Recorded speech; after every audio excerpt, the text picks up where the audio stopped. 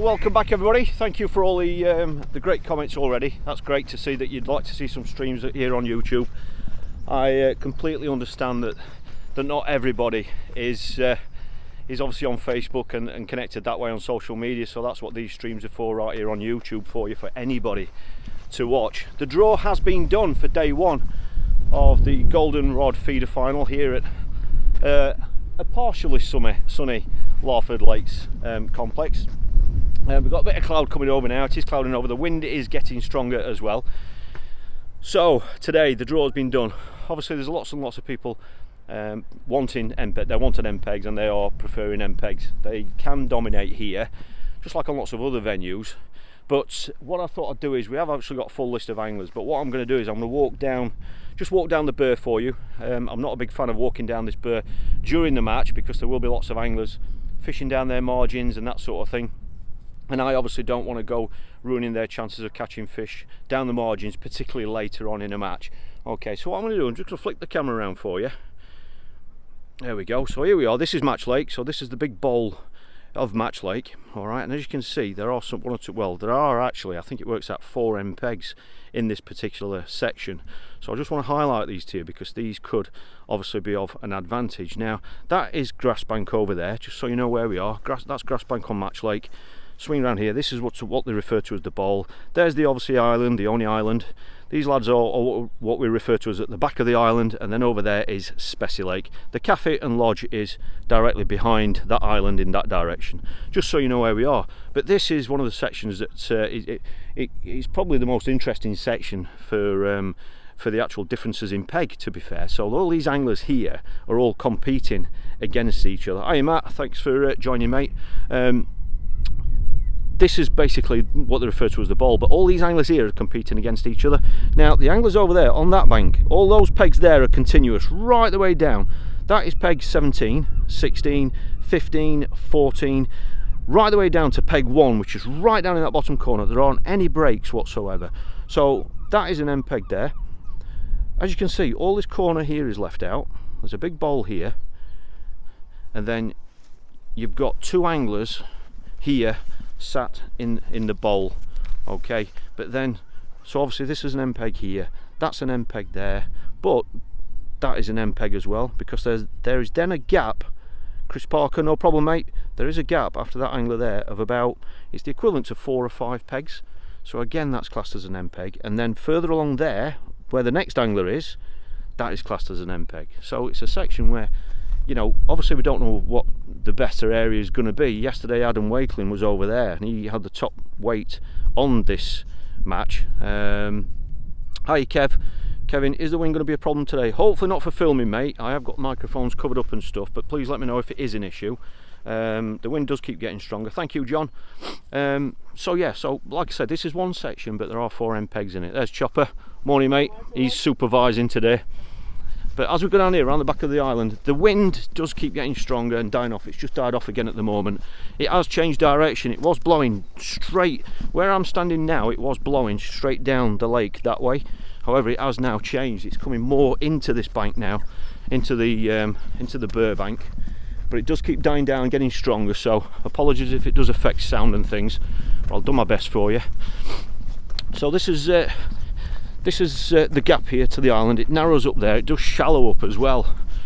But obviously that because of the gap that does mean that this is an end peg as well. So the sun keeps breaking through which is nice.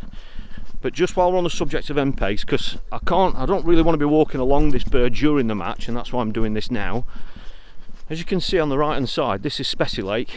And on this end here we've actually got Simon Fry who's a fantastic angler, absolute brilliant angler, he knows the venue really well. And he's on the end peg, but look how far out of the corner that is.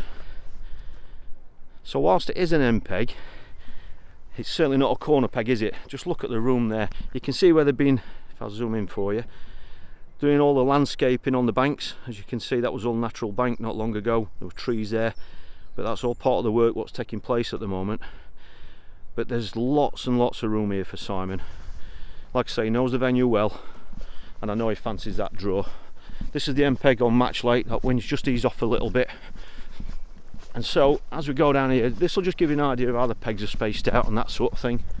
Now, just to let you know, one of the things that is going to be important today is that just like on, on many competitions, you know, you might be fishing a 10 peg section, but 10 of you might be in a line.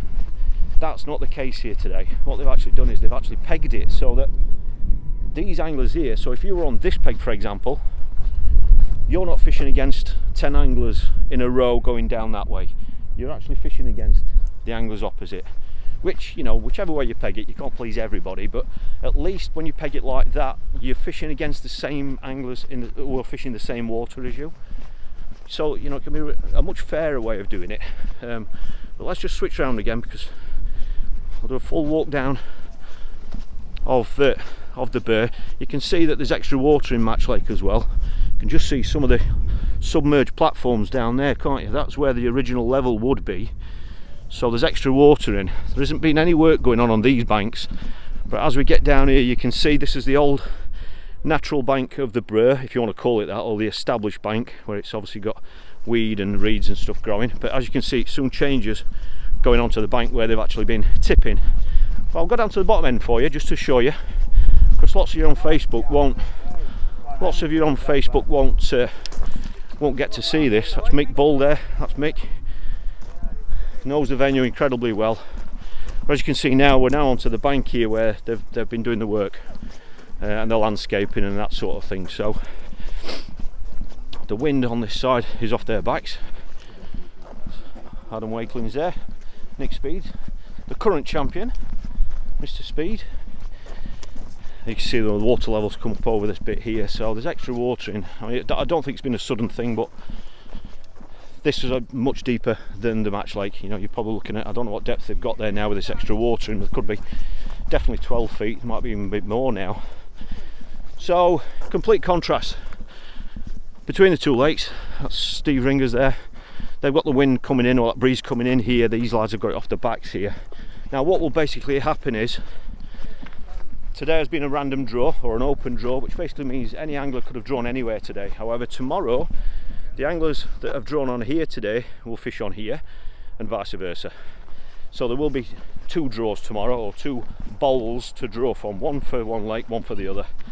So, you know, whilst they are fishing for section points, they will get the opportunity to fish both lakes over the two days. So, for those of you that missed the initial stream, today is day one of two days. Um, they are fishing for a £10,000 first, first prize. Uh, they're paying out the top 10 it's done on section points, so if you win your section, you get one point and downwards. So the lowest score over the two days will win. And if there is a joint on points, then there will be a weight count back. Simple as that. So when we get to the bottom end now of Spessy Lake, just to show you how it's changed, because a lot of you will have seen some of my videos and some of the other streams and stuff from how it used to look. You can really see how much work's been taking place and as we look across there that is the chalet bank where the chalets are and they've got the wind blowing into them as you'd expect so basically the anglers here are all fishing the same water so these anglers here are fishing against the anglers opposite so they are fishing the same water. So we're fishing 11 till 4 it's a five hour match. I will be streaming here on YouTube for you. The majority of the streams will be going onto Facebook on the Golden Reel Angling Facebook page. So if you're on Facebook and you do want to see more frequent uploads or live streams about what's happening, then head on over to the Golden Reel Angling Facebook page.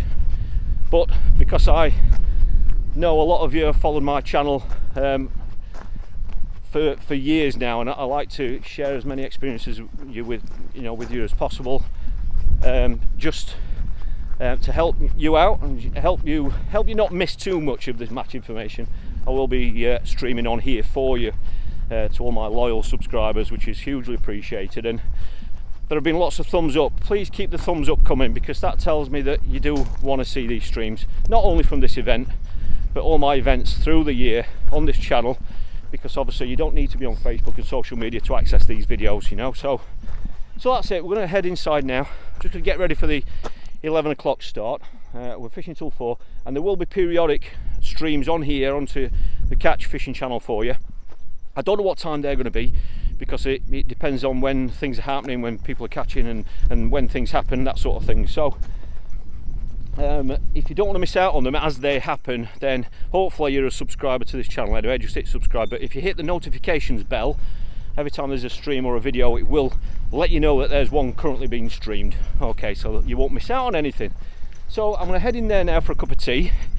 I've been on my feet for two hours. I was up at five o'clock this morning so it's been a long day already but we're going to do our very very best to capture as much of the uh, of the action for you. The wind keeps getting stronger. You can probably hear hear the flagpoles dinging away there. So uh, yeah if the sun keeps shining it's going to make it uh, much easier for us to film for you and give you most of the coverage.